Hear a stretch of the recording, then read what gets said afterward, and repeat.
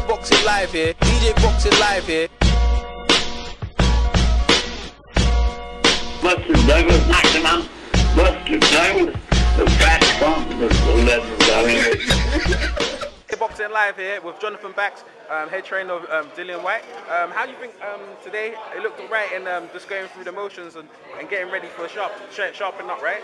And just sharpening up the tools, um, doing things that stay to stay sharp. That's about it. Yeah. It's all about tech. It's all about technique training right now. Cool, man. Like, so what flaws do you see in, uh, in Anthony Joshua? I mean, it's difficult to say. Neither one of them has fought a high level competition. Yeah. Well, I'm talking about on both sides, on Whyte side and Joshua side. But um, it's so difficult to say. I think the biggest flaws both of them have is they haven't fought high level opposition. So you will see both of their flaws on Saturday night.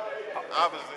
I was working. I was I was watching the fight, the last fight, the Minto fight yesterday, and um, I was seeing obviously, obviously since you took over, Dillian's been working a lot on his jab, and he's just taking his time. And I see if he's taking his time, that's the Klitschko kind of philosophy of just take your Uh, time. actually, And, it's the Emanuel Steward for that philosophy. oh man, it's- okay, It's the Emanuel Steward for that philosophy. just take your time. That's yeah? who that's who taught it to Wladimir. That's who taught it to Lennox. That's who taught it to Tommy Hearn. That's who taught it to all these guys. That's who taught it to me.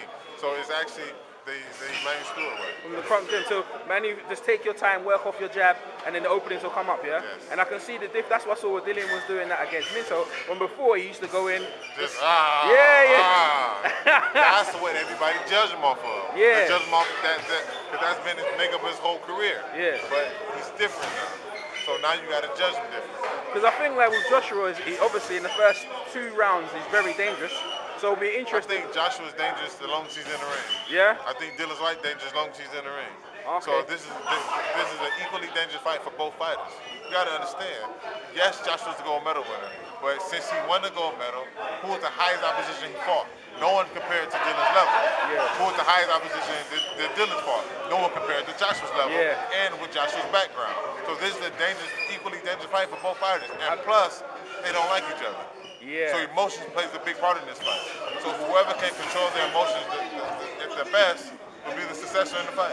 I was saying because I talked to Mr. Ali Bashir and he was there in the camp and they were getting ready for the Pulev fight and them two nearly got into it in the in, in getting ready for um, the champ um, at the time Wladimir Klitschko for the fight. Do you remember that and, and that Yeah, situation? they didn't nearly get into it. They were just talking rubbish to each other. Oh, okay. And um, they decided for Wladimir Klitschko that they'd just squash the beef in camp. They decided themselves to do it. Yeah. To squash in camp, and and that's what it was. Okay, man. Hey, man. Thanks for joining. Thanks. I'll probably see you on um um the press conference on Thursday, man. Um, I'll be there. all right, man. Thanks, man. All right. Yo, this is Chris Caban chilling with my man EJ Boxing Live, one of the hottest, dopest boxing channels on YouTube. Check him out. Some bucks and need some rounds on the EJ Live YouTube channel. And Thea was uh, the number 10 rating contender, and he had never been knocked down. And Sonny destroyed his mouth. But Thea lost most of his teeth, basically with one or two left hooks. Oh shit, boy! What was look at kids sleeping like Manny Pacquiao? EJ Boxing Live here. EJ Boxing Live here.